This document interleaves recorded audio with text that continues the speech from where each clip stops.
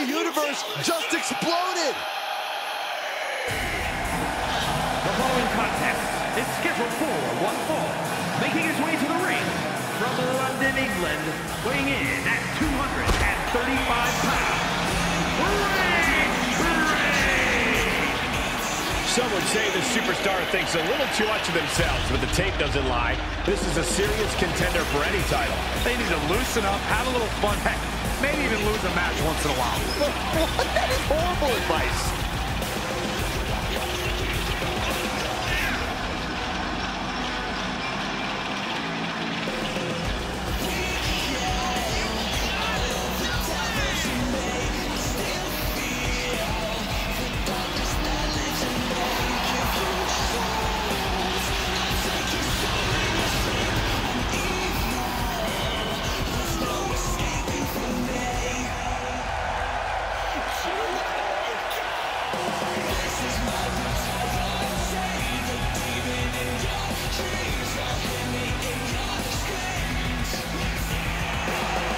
You're about to enter a battle against the Prince, Finn Balor. No turning back now.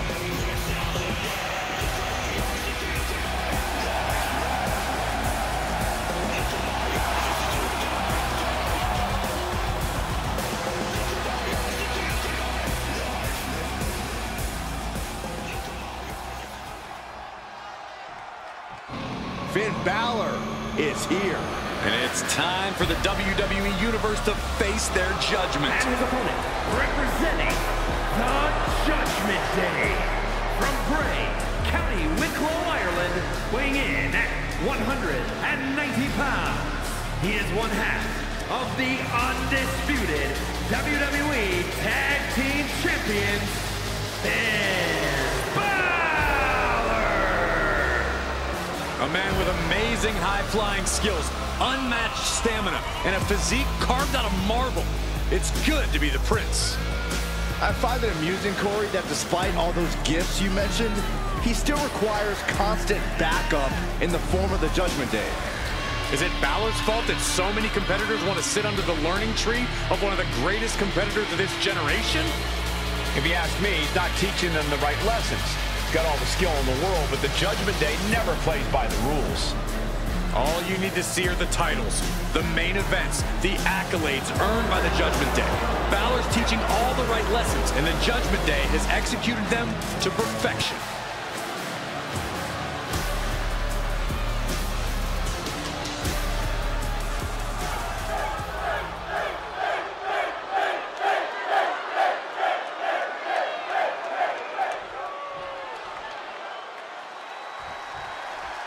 As this match gets underway, it's worth noting that while this is a non-title match, we've got a superstar here who very much has championship aspirations on their mind. As they should. If you don't want to be a champ, you shouldn't even consider getting into this business. They definitely have that mentality, Corey. He better be ready for his judgment, though, facing off against Finn Balor. Because it doesn't tend to get much better than the Prince. Can he do it here? Easily stops the ref's count. Getting that shoulder up seemed to be pretty easy. Time to see what you're made of. Good check.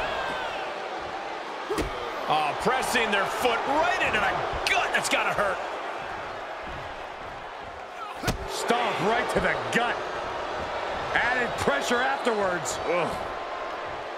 Finn Balor, one of the most educated superstars on our roster. Is there any specific key to taking him down? You can't hope to match the kind of experience Finn Balor has. But with that longevity comes exposed weaknesses. Identify the weak spots and target them accordingly. Because if he takes you into the deep water, you will drown. Watch out! Fails to hit the bullseye. And Balor's attack gets cut off. Sequence of reversals here. Both superstars clearly studied game tape ahead of time. Running heel kick. It takes a certain level of athleticism to pull that off. From the top. Elbow drop. And will this be it? And a kick out at two. Just barely,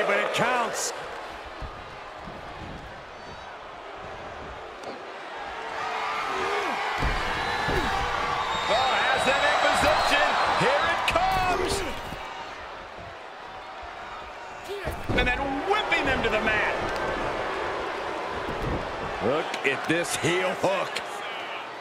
This is how you punish your opponent, and he's enjoying every minute of it.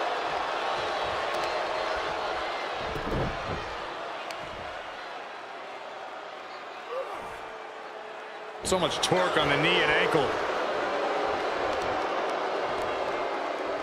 What now? Oh, stop to the belly welly.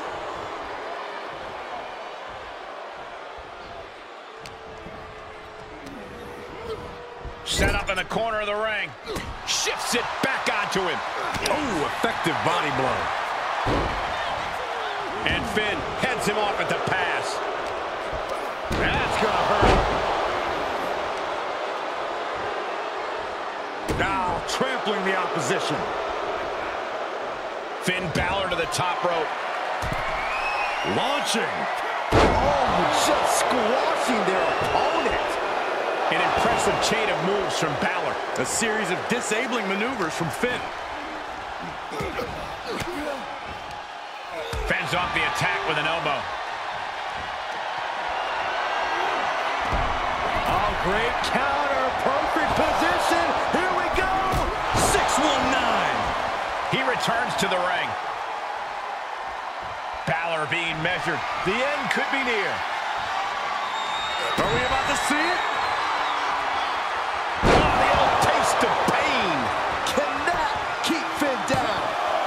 There's two. An exhausting victory, but a win nonetheless. Here is your winner, Bray Trey. Finn Balor.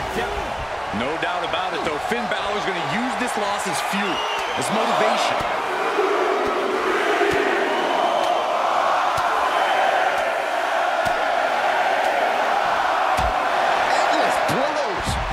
Onslaught of strikes like that, it's clear they have nothing but punishment on their mind. Oh, look at this, showing off with a big flex. And then a Oh, and a stomp right to the back. Ooh.